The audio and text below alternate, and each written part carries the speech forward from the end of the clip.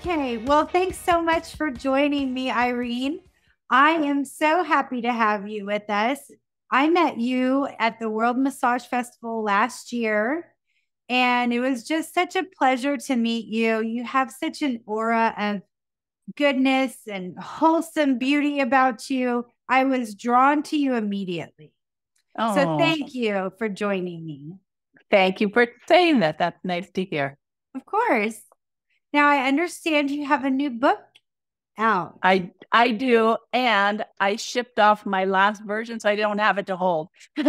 well, that's okay. I know you can find it on social media. There's a lot of pictures out there, and and we can post a link below on how to get the book. But tell us a little bit about your book. Mm. So now I've been saying it took me three years to write based on 30 plus years of wisdom. so it's, you know, as anybody who's ever written a book, they can attest it's a process. My goal was to get it done in an out in a in a year. In an hour would have been great. In a year, and it took me, you know, some extra time. There was COVID hit, all that stuff. But towards the end, what I really found interesting from my own perspective was why was I dragging my feet? And I, I, I was done. I just needed to sort of like review it again, one more final edit, and then push send to my editor. But I kept dragging my feet and I couldn't figure it out. And then I, I realized why. And I am a perpetual learner and I'm always learning. So 30 plus years I've been in the health and wellness world. I'm I'm old. I just had a birthday. And so you know, you would think, okay, I kind of know it all. I kind of got it down. My book will be concise and complete.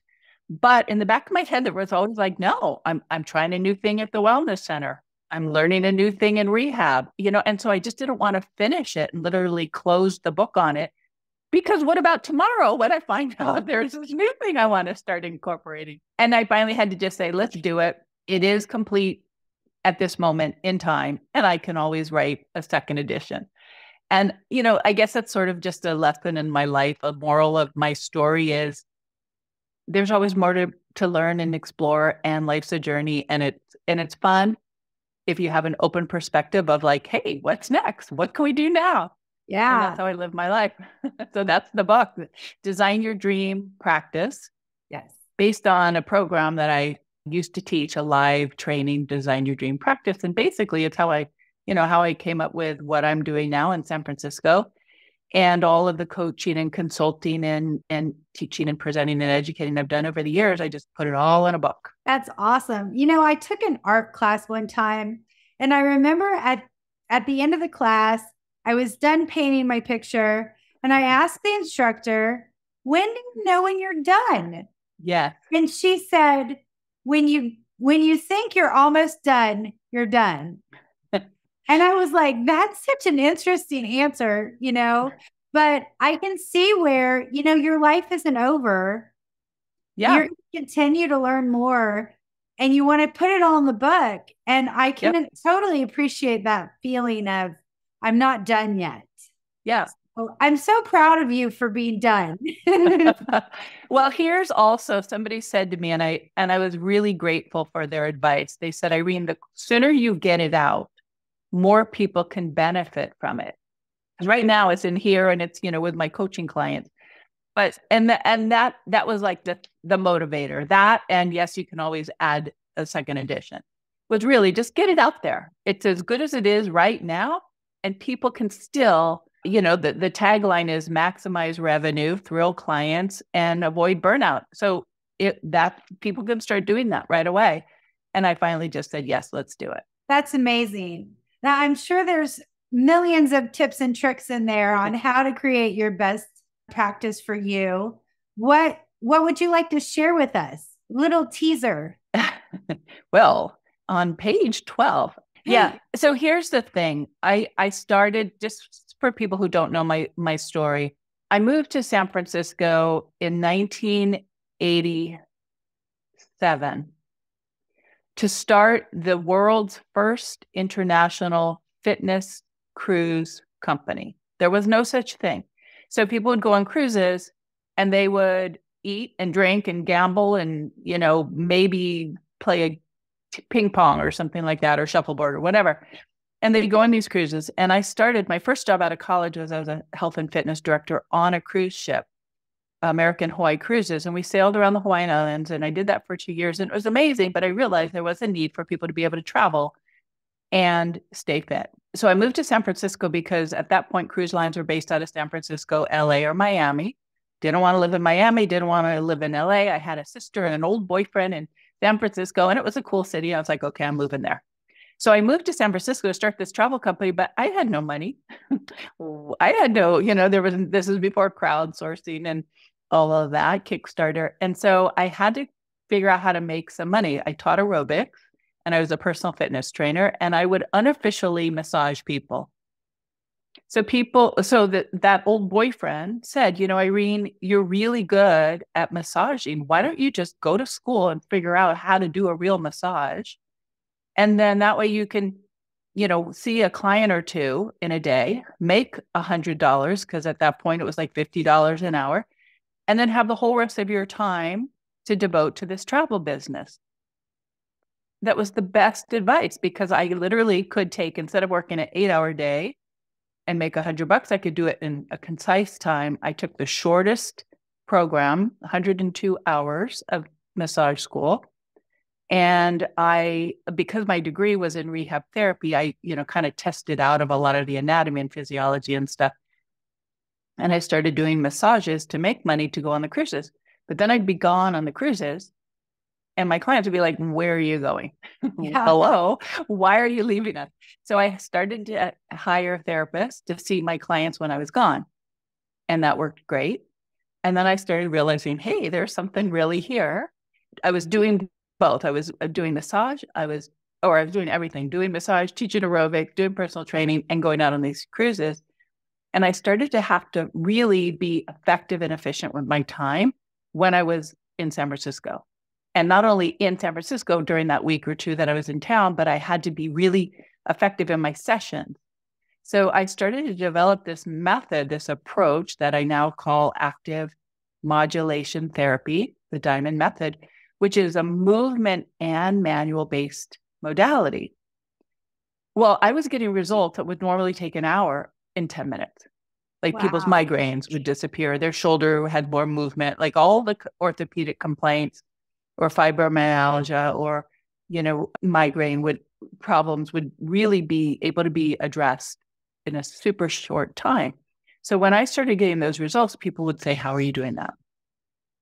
And they'd also say how are you getting so many clients? How do you get all those referrals? How are you attracting your dream clients? So just over the years people asking me these questions watching what i was doing i was always really good at marketing just innately and i was I never had to go looking for clients.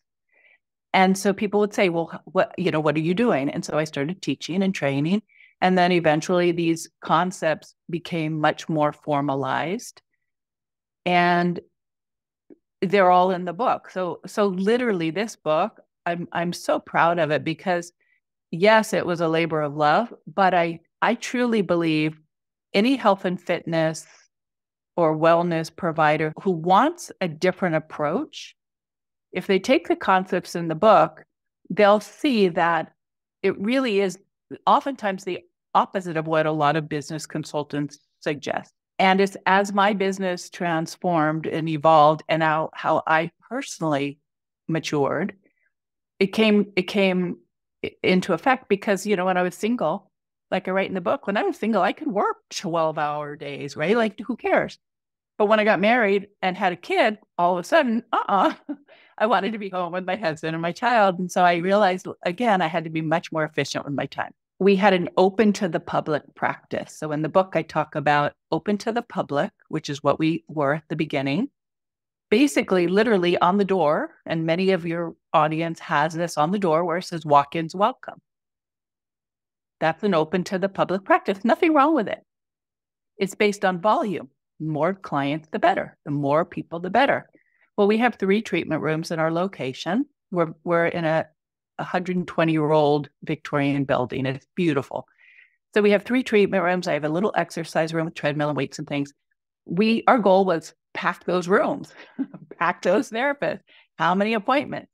So it's funny when I hear like in Facebook and people will say, well, you know, how many clients can you see in a day? And and the goal is the more, the better, right? Well, I was there. I was doing eight hours of deep tissue every day. And I was making big money. Way back then, I was making $8,000. I did the math for for the book. My revenue back when I started my practice was equivalent to about a quarter of a million dollars now. Just me, just doing my my health and fitness and wellness and massage and training.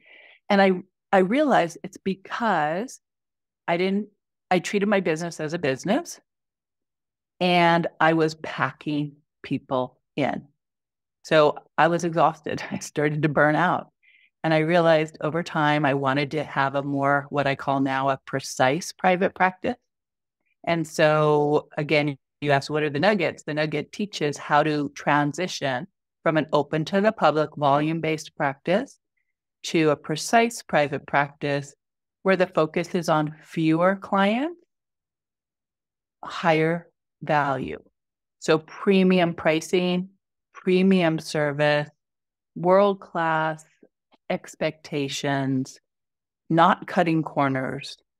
And and again, this was an evolution because when I started, I was cutting corners. I had to. I didn't have any any choice.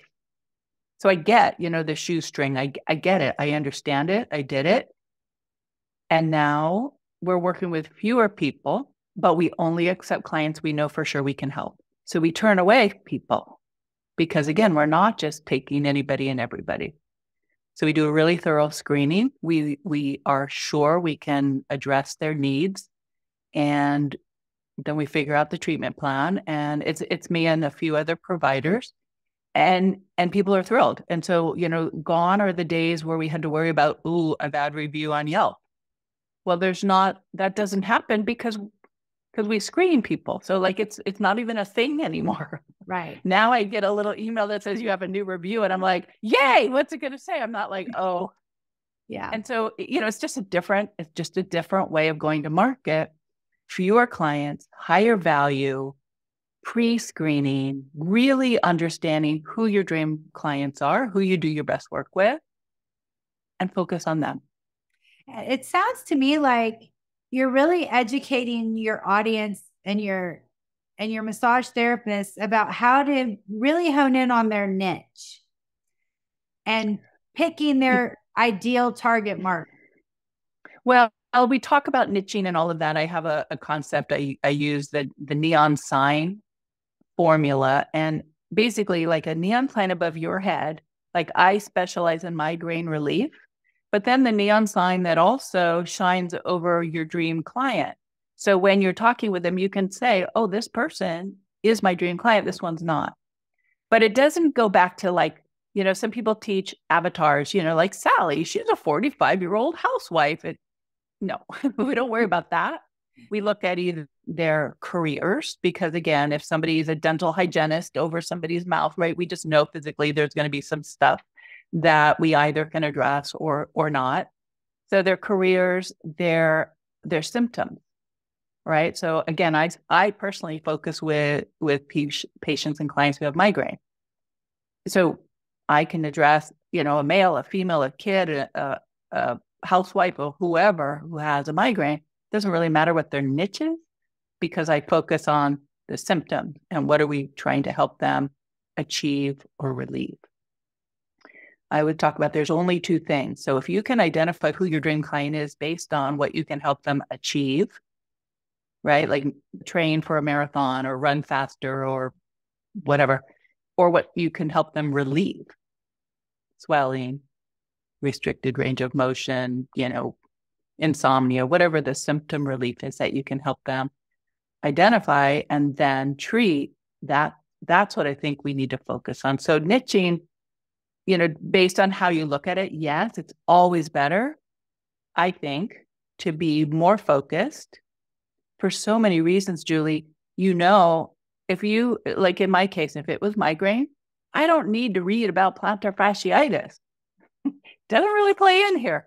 I just need to really focus my education to stay current on much more of a finite body of, of, of knowledge. So our our staying current is easier. People talking about us and and referring is way easier when we're known as the specialist for blank or blank and blank. Right? It doesn't have to only be one. It's almost like a a doctor that has a specialty You know, you want to go to a rheumatologist if you have arthritis, or you go to an orthopedic doctor if you, you know, and you're finding that instead of going to a general practitioner, right? You you you do have a lot you can make a lot more money per client if you look at it that way, more income per client if you do have that speciality, if you narrow it down to what your speciality is. Now, yep. Specialists always make more money than generalists. Yes. And there's a higher level of expectation though of specialists.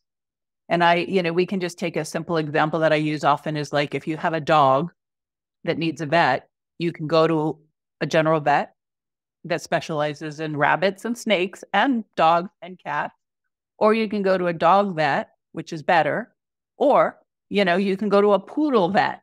Well, that if you have a poodle, you're going to be like that. That person knows my dog. Yeah, and and therefore you're willing to pay more for that specialty. Yes. And you're going to ask specific questions about poodles in general. Is this specific to this type of dog? I mean, mm-hmm. yeah, I, I, do think the higher expectation is, you know, necessary for your clients to to be able to justify the higher price too. Yes. And so for practitioners who are brand new, work with everybody get a feel. You know, I used to work with athletes. That was my thing. I thought I wanted to work with pro, pro athletes.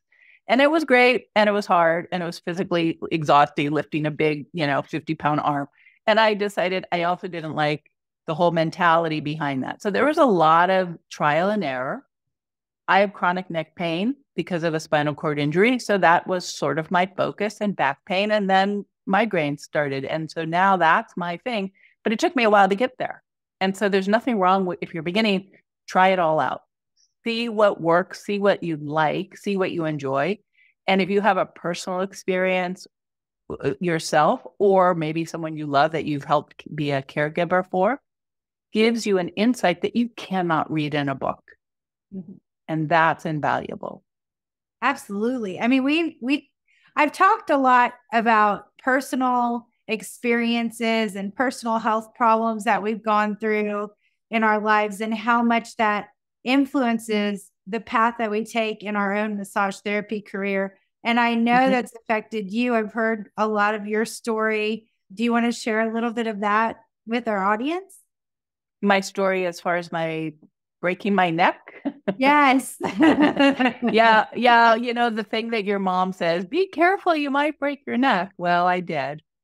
I I was 15 years old. I, I grew up in Honolulu, and every Sunday I would take the bus down to the beach, and there was a group of adults that would do at that time it was called acro sports. So it's what the cheerleaders do now, the throws and the pyramids and the lifts and all of that. And I was the only teenager. Everybody else were, were adults, and they would let me hang out with them, and we would work out every Sunday on beach mats. And this one particular Sunday was it happened to be a a competition, an international competition, and I was standing on my partner's shoulders and I was going to do a forward somersault into his arms. Our timing was off, and I basically, from the height of this adult man, did a head dive right into the mat. And I laid there, unable to move. Now, the grace was that I was not on a beach mat anymore. This time I was on gymnastics mat, so there was some cushion. But I, you know, I put my arms out to catch myself. They buckled and I landed on my head and ended up rolling over and I had had a compression fracture.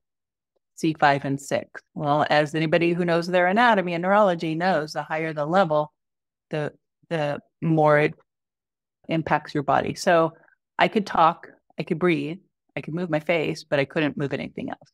And luckily, the guy whose shoulders I was on happened to be an anesthesiologist. What are the chances that he knew immediately, uh oh, neck injury, don't move, don't move her? His wife, who was there, was a nurse. So I had the best first aid care right there on, on the ground. You know, and again, this is a long time ago. Med- emergency medicine was different. They knew enough not to move my neck, suspected a neck injury. So they kind of scooped me up and they put me in an ambulance and took me sort of the back roads of Waikiki, driving slowly. The ambulance guy actually held my head in traction because that was before neck collars and stuff.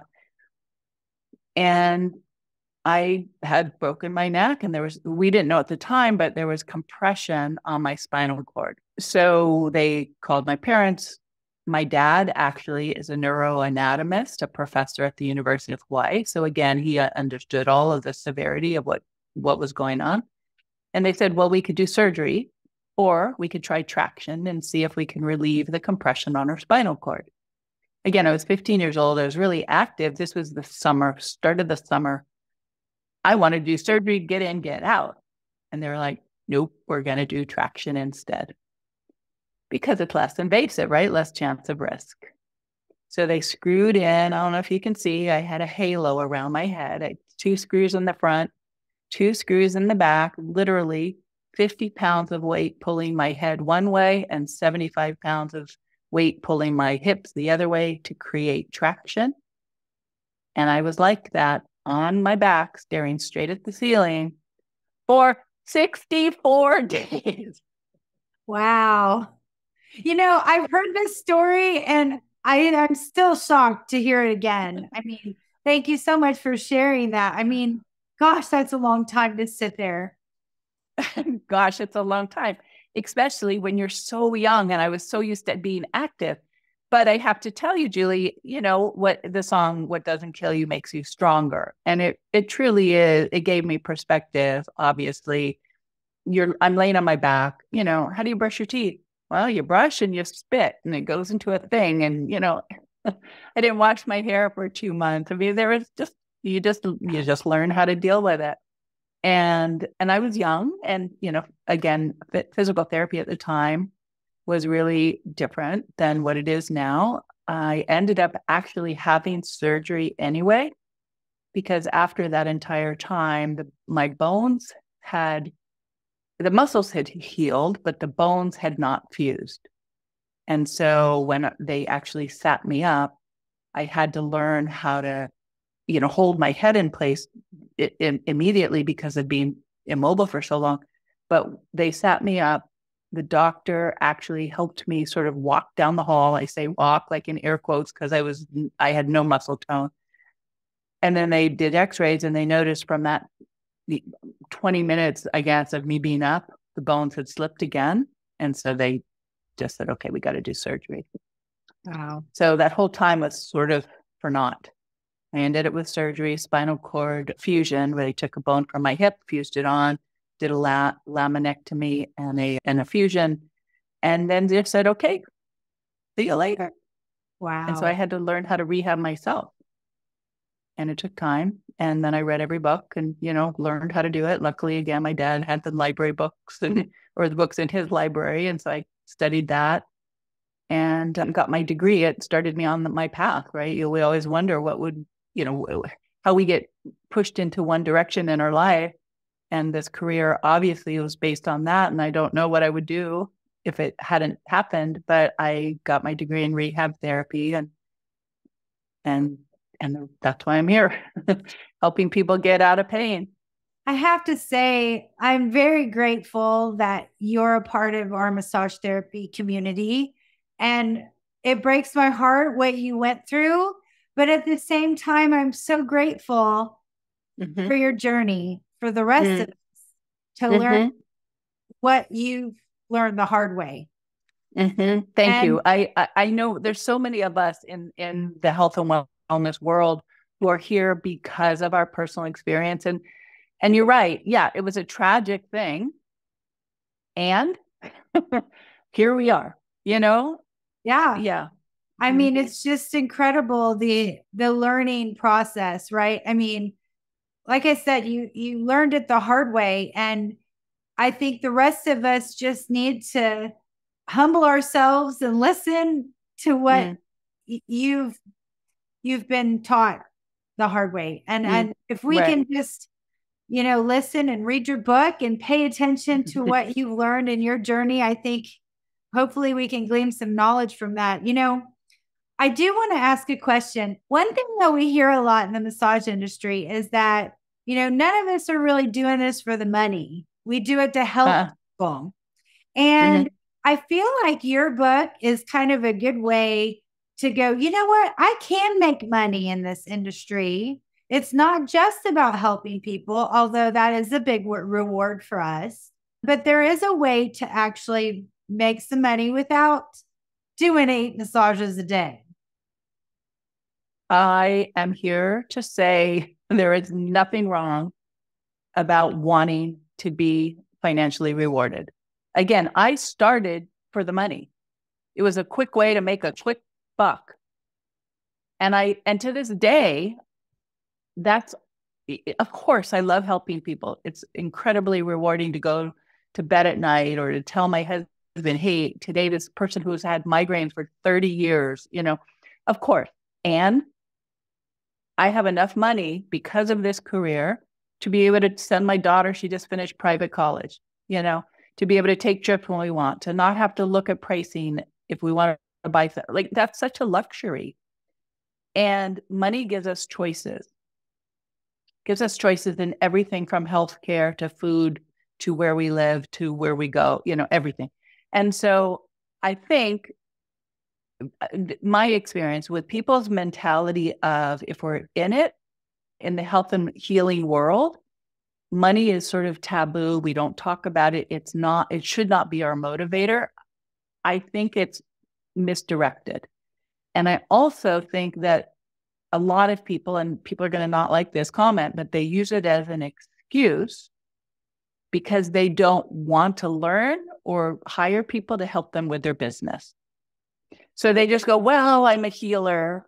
I'm going to be struggling. Or, well, I'm a healer. I can't charge that much. It's because they have that self doubt. They don't have that confidence to be able to say, I am damn good at what I do. And my clients are lucky to work with me. And yes, you know, I have innate skills and learned skills, and I'm going to charge accordingly.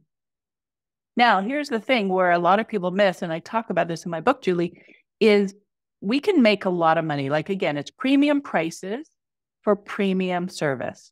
Service is two two pronged.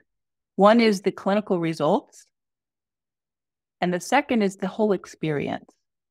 The whole experience. So people pay for an experience and the outcome, right? The bottom line is if we charge enough, then we have enough money to donate or to give to charity or to volunteer our services.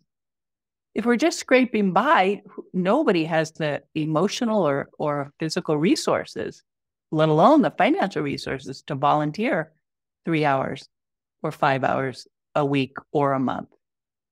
Right. So that, so money really is empowering for so many reasons.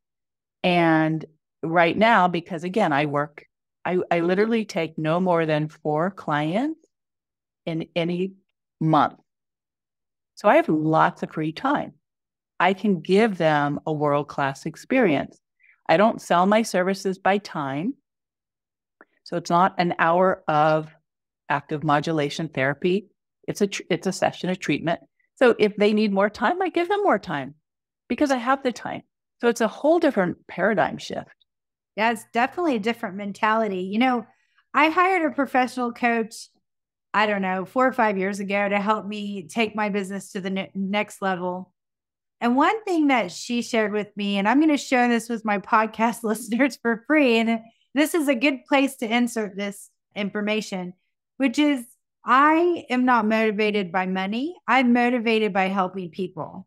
And she told me, she said, but money will help you help more people. That's right. And now I think of money as a tool to help yep. more people rather than whatever it is yes. for everybody yes. else. Yes. Right. A lot of people think money is the end goal. Money is the tool. What's the end goal? Like literally, they've done studies. Ask a million people what their what their life goal is. Ultimately, it comes down to what? Do you know, Julie? Leaving money for your kids? No, ultimately, past like, that. What's past that? that? Leaving a legacy? Happiness. Happiness. Okay. Happiness. Well, happiness. you can have all the money in the world and not be happy. Right. But money can help you be happy again because you can be- you can get better health care. You can have better education. You can buy healthier foods. You can get your teeth fixed. You know, like there's just so much that money can do. But ultimately, the end goal, when they when they distill it down, what are people's human basic desire is to be happy. Happy comes from good health, good friends, lots of love, you know, healthy air, sunshine, nature, all of that good stuff. And that's what money does. So, yes, I think when people see it from that perspective, like your business coach said, if the more money you have, the more people you can help. And that's how I see it. I, I we donate, you know, in our practice, every single month we we have a program that I license to other clinics. It's called our We Give Back campaign. Every single month we donate over $2500 worth of services every single month. We've been doing that for 20 years since 2003. And the only reason we can do that is because we have the money to be able to do that. That's so, incredible. Mm-hmm. I mean, and and that's kind of just fill your heart with joy to be able to do that. You know? Oh yeah, when people call and they'll say like, "Really? You're really donating your services?" you know, and they're in tears and they are just so appreciative. And of course, it comes back in goodwill. It comes back because sometimes the clients will, oftentimes, the clients will become clients and they generate it generates revenue. But ultimately, if our goal is to give back to the community, it's I call it a triple win. So it's a win for the community, it's a win for the client, and it's a win for the practice. That's awesome. So you have a book, you are a coach, and you mm-hmm. take clients, correct? Well, that's just skimming the top, but yes. my goal is to take all my experiences and help create shortcuts for providers. So they don't have to take 30 years to figure it out. And, you know, it's a match for a lot of people, and it's certainly not a match for everybody. But the way we run our wellness center, a lot of smaller practices, when they're ready to leverage and bring on other providers, they wonder should they structure them as employees or contractors or renters. Well, I've created a fourth option and I it's under what we call the FAST system and it's how we run our wellness center and it works terrifically and it's legal and ethical and all that stuff. And so I license that to other practices who don't want employees. It's most of the time, most health and wellness providers should not have their providers be contractors. That li- li- literally is breaking employment employment laws in most cases. So that should not even be considered. But if they don't want employees or renters, this is an option. So that's another sort of component of my business. Like I said, we license the We Give Back campaign, and that's a, that's the only marketing campaign that a practice needs. Like that's all the marketing we do and it's free to do. So we don't pay for ads. We don't do any of that stuff. We used to. Again, I used to have a paid uh, our ad in our local paper and you know that kind of thing. But now that I developed this campaign, we don't need to pay for advertising, and so I license that to other practices, one per city, because one we don't want to dilute it and it's brand new as far as licensing. So if anybody is listening and they want to get in on it, now is the time because we're going to, you know, we're still working out the kinks and stuff. But I've had other practice owners use it and it's, and I talk about it in the book and it's amazing because again, it gives back to the community, it generates leads and it generates revenue. So, so I do that. And then there's a, a fun new method of, of therapy that sort of been created from the rehab method, which is now something I want to bring to spas and health clubs and fitness centers and things that are it's for muscle tension and stress stress relief as opposed to rehab so it's less clinical And again, the goal with the diamond method of, of therapy is that the client is active. So, as you know, typical massage, the client is passive. Typical physical therapy, chiropractic, acupuncture, all of those modalities, the client, the patient lays on the treatment table and the therapist does external stuff to their body. In the diamond method, and now what we're calling diamond active massage, the therapist is doing something, they're holding, but the client is moving. Julie, again, it's all about effective and efficient. It is so fast. The result, the muscle tension release, the the stress release is so quick because the client is doing the movement. So it's an inside out result instead of the client waiting, wondering what is the therapist going to be doing. So it's really profound. So that's another thing that we're just starting to roll out. So if anybody wants to be the first in their neighborhood for that, that's really exciting. Because I mean, one thing that I've noticed about massage therapists is that we're not very good at marketing. yeah. we're very yep. good at massaging and and a lot of us are very good in the social networking area. But when it comes to marketing ourselves, it's very challenging. And knowing what we're worth, that's another really hard one. And we've already kind of talked about money, but I, I do love the fact that you offer this program. So I, if anybody's listening, it sounds like this is a great opportunity. If you struggle in marketing, that mm-hmm. she can really, Irene's program can really help you.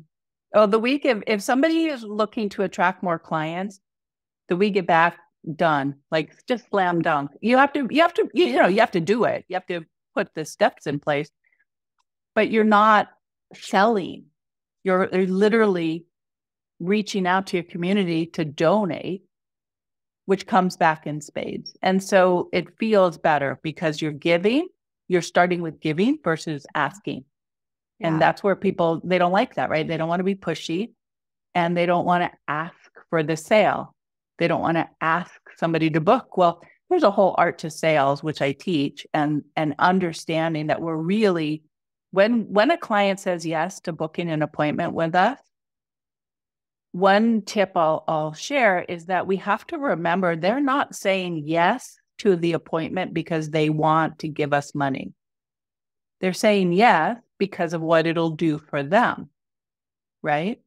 So, uh, just like me not getting my book out there, therapists not having clients get in their treatment rooms are withholding the value and the and the incredible support they can be giving to their clients just by having that table sit there empty. So if we can kind of change that paradigm again, change the mindset and recognizing the more clients we can serve, whether it's us one on one or the ripple effect, you know, the better the better the world. And and it'll and it financially benefits us as well. That's awesome. Yeah. Yeah, that is incredible. I love this because we talk a lot about marketing on this podcast. I I have a business marketing degree. And mm-hmm. so, you know, we throw out the terms niche and focus and target market and, you know, networking. And we say all these things, but, you know, not everybody, most everybody in the massage industry it, it's struggling with marketing. And there are enough clients out there for all of us to help, mm-hmm. and they need mm-hmm. us eh, now mm-hmm. more than ever. So I love yes. your program. It sounds perfect. Thank you. Thank you. The people who've gone through it again, it's kind of a different perspective because I'd rather have a client, have a therapist work with, you know, three clients or four clients in a day instead of eight and make the same money and really create a change in that person's life and the ripple effect. So that one client who comes in who had pain in their back, but they were now able to bend over and put their shoes on, they're going to go home. They're going to be a lot happier to their spouse and their kids and the dog and, you know, the ripple effect. And when they go back to work, they'll be more productive. And so I, I really want therapists to think, let me step back and change my goal from as many clients as I can get in my practice to really fine tuning who do I do my best work with? Who do I enjoy? In marketing terms, you would call it you're creating a pull in the market. Right? You're you're asking for those referrals. But I'll tell you, it is an opposite effect to most most massage mentors will tell you do not discount, do not give away your services for free. Don't do that. Mm. And you do have a completely opposite approach to that. Yes, and and there's some caveats.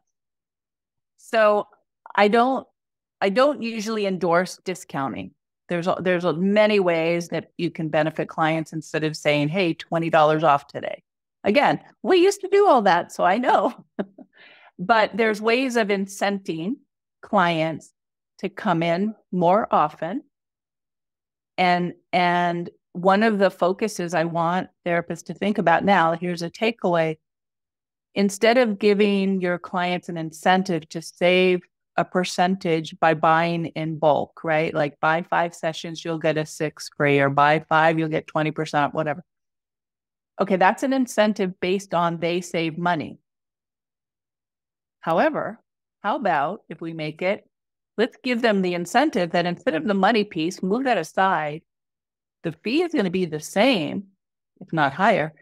But the incentive is because then they're going to get the clinical results that they originally came to you wanting. And so again, it's a skilled practitioner though who have the ability, the knowledge, the the the know-how to listen to their client's questioning and requests, do a comprehensive assessment to make sure they know why that client's going to book in the first place, and then creating the treatment plan to know how to get them from here to here. That's the incentive if I can get you here, not, oh, well, if you do five sessions, you're going to save 20 bucks or 200 bucks. So there's there's discounts that are that are beneficial for some people a lot of coaches will say give a new client initial, you know, a new client special or a new client rate. Mm-mm. Why are you giving the stranger the better deal than your loyal clients who come to you all the time? That doesn't make sense to me. It's kind of like a results driven approach. Mine is all about selling results, all about you've got it right, Julie. Selling results selling the clinical outcome. I also encourage therapists to have a 100% guarantee. Oh, that sounds really scary. it is. It's not for the weak of uh, faint of heart. Mm-mm. You have to be able. So I'm all about ethics and and actually teach the sales concept we teach is called the truth selling system. It's all about truth. So if I let's have you be my client, Julie. You come in and you say, you know, my my neck and shoulders are killing me. It's at an eight out of ten, and it's been like that for three months. And I, you know, I ask more questions and and make sure I can address your needs. And I say, Julie, in three sessions, I am very confident that I can help you go from you said an eight out of ten now on a on a pain scale to get down to at least a three or four out of ten And let's just say three sessions. And if we don't get there, yeah, then, you know, I don't want your money because I didn't deliver what I promised. Well, again, most clients are going to be like, A, you're guaranteeing, I've never heard of that. And B, what do I have to lose? Right. So even if my fees are higher, if you've had this chronic thing and tried everything else and are just really ready to just be done with it, I know I would rather pay a higher premium fee to work with somebody who is confident they can help me. And if it doesn't work, I'm I, maybe I wasted some time, but I certainly didn't waste yet more money because I've already paid for this and this and this and this and potion and lotion and treatments and all these other options. And so even that guarantee concept, people are like, how do you even do that? And it is scary unless you're really confident in your ability to assess and then be able to provide those results. So for the beginning therapist, it's it, don't do it because you don't have that experience yet. But for the provider who's been around for a while, put your literally put your money where your mouth is. Do do I think it's unethical to book somebody mm-hmm. unless you know for sure you can help them. And that's the harsh reality. There's too many therapists who are pretending or winging it. Yeah, fake it till you make it yeah now i don't you know i mean there is something to be said about fake it to make it like you have to demonstrate competency and confidence and stuff even if you might be shaking in your boots a little that's okay but you can't pretend that you know how to address somebody's frozen shoulder if you've never done it I'd rather the therapist say, I've never worked with somebody with frozen shoulder. I'm happy to try. I will do my research. I'll do the best I can. Right. But not pretend. And then certainly make sure you're following up so you know how you're going to help help them get that end result. What is the end result? Many therapists book clients, they don't even know what the client's coming in for. Another thing I say is take those damn online bookings off your website. That's just asking for trouble. How, how do you know that anybody just scheduling with you can become a, a dream client of yours or is a dream client? Like to me, that doesn't make sense. Yeah. Wow. I just, I mean, it kind of blows your mind to think about giving a guarantee like that. But, you know, if you are confident in your work and you have done your homework and you found your niche and you know exactly honing in, like you said, on on those particular things and you know your stuff, I mean, why not? Have you ever had to return people's money before? Yes.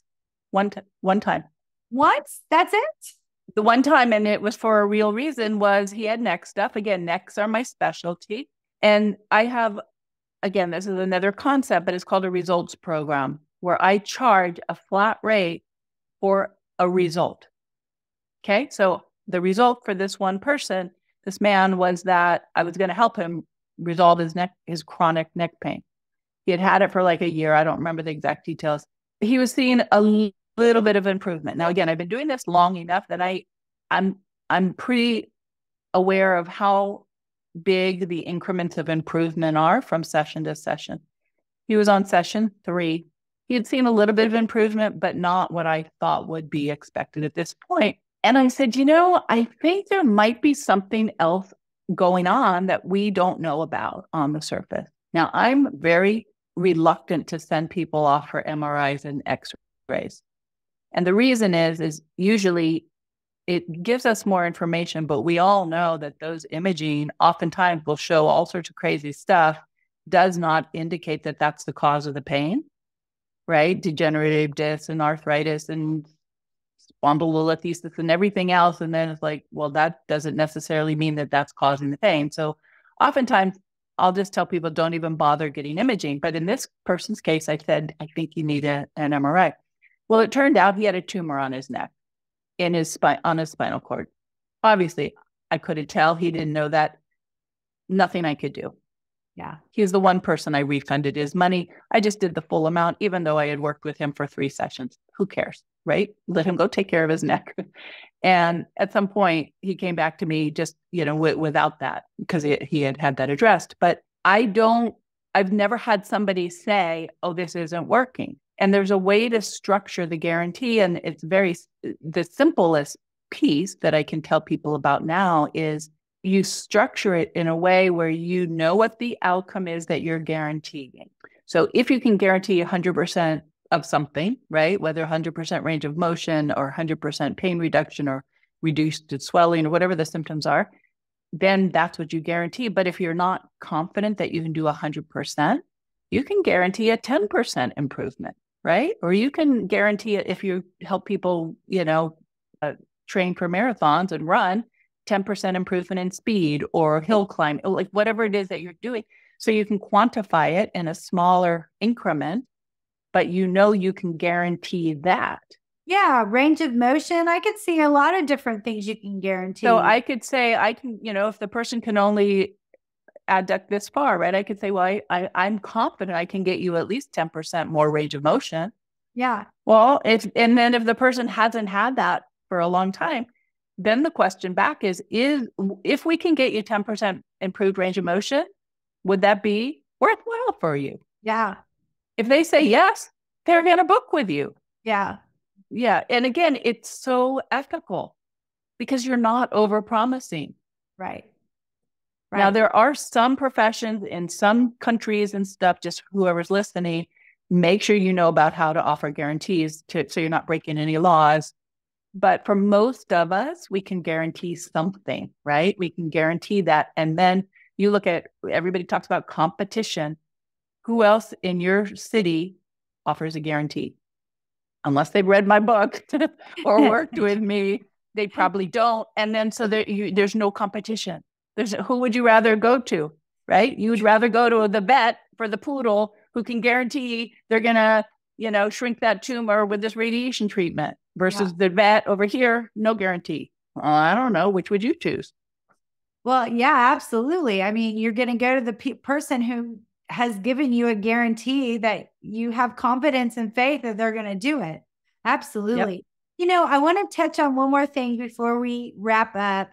But our last podcast, we talked a little bit about vulnerability and how mm. we want to be confident yet present some vulnerability. And you kind of touched upon it with your last conversation we had, which is if you're not real confident in the ability to say, I'm going to give you a full range of motion, you know, start with 10%, you know, you might mm-hmm. actually even admit, you know, I've never worked with frozen shoulder before. Mm-hmm. I would love to learn more about this. Will you help me learn? You know, mm-hmm. be my test mm-hmm. candidate, so to speak, or my beta mm-hmm. tester, and we can work together. But it opens up that line of communication. I think that the client then trusts you more because you're open and honest with them about that. It's all about being truthful. Yes. Yeah. The therapist gets in trouble when they do, when they're not truthful. And I'll I'll give you an example when I was brand new in practice and I was interviewing to work at this chiropractor's office. He worked with all the San Francisco ballet people and the uh, you know all, all people I wanted uh, dance was my my minor in school so I wanted to work with him. I went to his office and he said, "Okay, Irene, do the demo and work on my scalenes." I didn't know where the scalenes were. so I just did my thing. And at the end, he goes, Well, you're really nice. You're very professional, all that good touch, blah, blah, blah. But you didn't work on my scalene. Well, I was, I was, I was naive and I was trying to fake it till I made it. I should have literally just said, Lenny, like, here's a, a little trick not wear your scalenes, but put your finger exactly on the area that you want me to focus on. Ah, he would have touched it. I would have went, okay, whether I knew the origin of the insertions, at least I would have touched it a little bit I more. I love that. What a great little trick. I mean, if you forget what a muscle is or where an attachment is or where a bone is, if a client says, you know, I'm having a problem where my iliacus is, and you're like, what's an iliacus? Point to where yeah. it hurts. yes, unless, of course, they learned it on like Dr. Google and they're saying their sciatica and they're touching their shoulder, right? then we know they might not know where we might know a little bit more than that. That's funny. But yes, vulnerability and truth. Nobody wants you to fake it with their health, right? We we want the truth. And you don't need to be the world's best, but if you're one of the best and if you continue learning, you know, we coming full circle to our conversation. If you continue learning and if you want to narrow the, your your scope of learning so you really have your few conditions or symptoms or or goals that you're going to be perfecting, your practice is just it, it's just there. You you can literally take it sky high. You can make as much money as you want. When clients see the value they get by working with you, the people who can afford it, easily afford it, will easily pay. I often talk about attracting clients who will happily pay you. Now, again, I wanted to work with inner city youth, homeless youth. I'm like, they need they need touch, they need compassion, they need love, they need services. And then I went, but they don't can't afford it. So there's sponsorships and there's scholarships and grants and all that. But I realized I I can donate my time to those people, that, that population, and make money by working with people who can happily, easily pay. So we do need to focus. And again, this is a business tip. We need to focus on the top percent of the people who are generating the, the higher levels of, of income. Because then a session for a hundred bucks or 200 bucks or a $300 session it's just a teeny little dip in their income. It's like us buying a sandwich. They're like, sure. But somebody who, you know, that sandwich is like, I can't, or I need to find the coins of my couch. Of course, they're not going to be able to afford their health care or their, their self care. So we, we need to focus on the people who can easily afford it, the top half of the triangle. And then if we want, donate to the people who have less financial needs. Thank you very much for joining me today, Irene. I can't wait to come back and listen to all these great tips and that you've given us. I mean, I hope the audience really understands how valuable all the information that you've given us is. And and I hope that they go to your website and I hope that they buy your book. And just I hope so too. yes, I think all this knowledge from you. Is there anything else you want to share before we stop? I think we've covered we've covered so much. This on the surface, these tips might be like, oh yeah, I know that. Oh yeah, that's okay. But really diving deep and and adopting them or you know transitioning these concepts that i've just literally just scratched the surface. If if people take this and use it in their practice even one of those tips precise private practice guaranteeing charging premium pricing not discounting you know like we covered we covered a lot. Yeah. If they take one if they take one tip it can transform their practice where they're not struggling anymore and they're literally living uh, the life they love. That's why I call it the dream practice, right? Because it allows you to have more fun and to play. So I, I welcome people to come, reach out to me on social media. I'm just on Facebook. I don't do Instagram or anything like that, but also my website, irenediamond.com, and then the diamond method. And even in my coaching and my consulting, I, I created those arms of my business as a precise private practice. So again, I don't accept anybody into even my therapy classes.